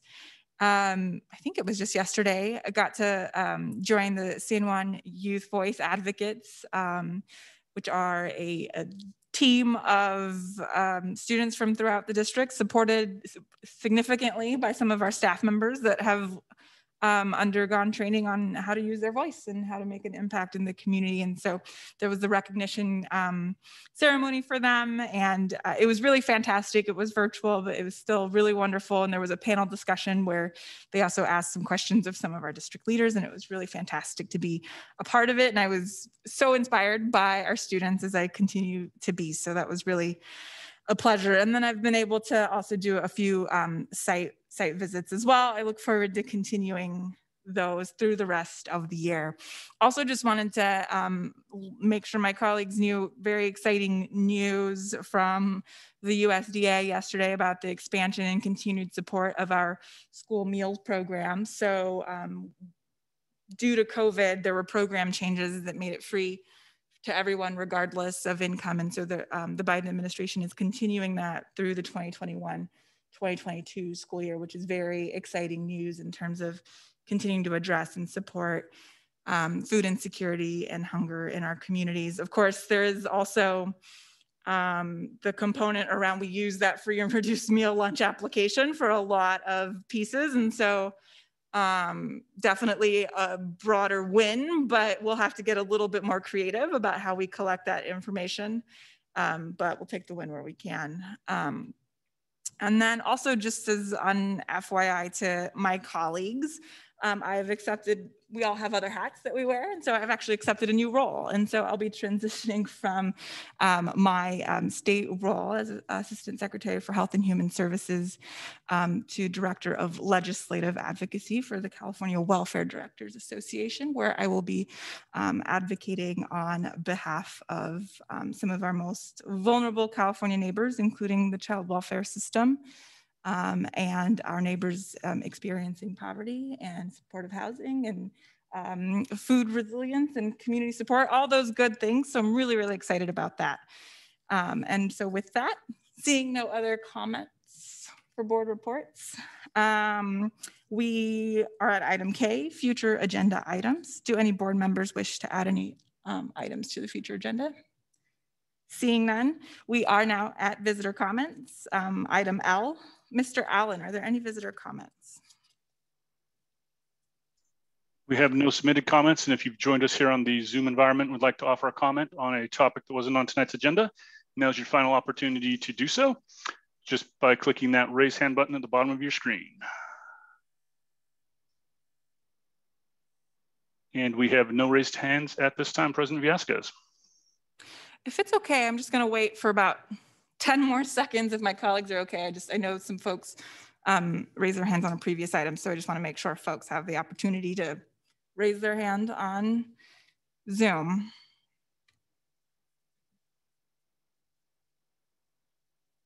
Mr. Allen, will you just prompt one more time um, the reminder on how to use the raise your hand function? Certainly, if you've joined us on Zoom, you can click that raise hand button found at the bottom of your screen on a mobile device or your desktop client. Or if you've dialed into the meeting tonight, you can press star nine on your telephone keypad to raise your hand.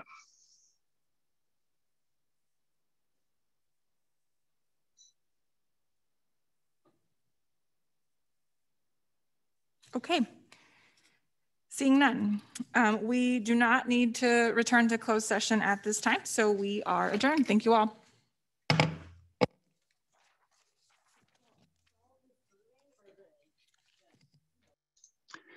The next meeting of the San Juan Unified School District Board of Education is scheduled for Tuesday, May 11th. We do anticipate being on Zoom and YouTube again. We hope you'll be able to join us. Thanks for being with us tonight.